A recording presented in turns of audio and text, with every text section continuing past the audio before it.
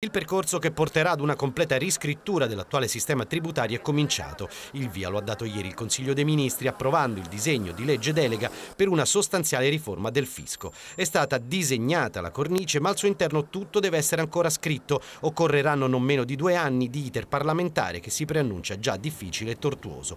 L'idea di riforma presentata dal governo Meloni prevede interventi di riduzione e razionalizzazione dei tributi, primo tra tutti l'imposta sul reddito delle persone fisiche e l'IRA l'IRPEF, che rappresenta la voce più importante e consistente della nostra struttura di tassazione vecchia ormai di 70 anni.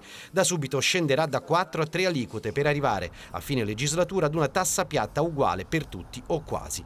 Al momento sono due le ipotesi in campo. La prima prevede l'accorpamento degli scaglioni centrali con un'unica aliquota al 27% per i redditi tra i 15 e i 50 mila euro. Verrebbero poi mantenute quella del 23 per i redditi fino a 15 mila euro e del 43 per quelli quelli più alti. I vantaggi maggiori in questo caso sarebbero in particolare per chi guadagna oltre 35.000 euro lordi all'anno. La seconda ipotesi prevede invece l'estensione della fascia minima ai redditi fino a 28.000 euro, che salirebbe al 33% per quelli fino a 50.000. Resterebbe poi il 43% per chi guadagna di più. In questo caso i vantaggi sarebbero in proporzione per tutte le fasce di reddito, ma questa seconda alternativa avrebbe un impatto decisamente maggiore per le casse dello Stato. Nel disegno di legge delega approvato dato dal CDM anche l'ok del governo, salvo intese, alla realizzazione del ponte sullo stretto di Messina. Si riparte dunque dal progetto presentato nel 2012, ma devono essere completamente riscritti tutti gli aspetti tecnici.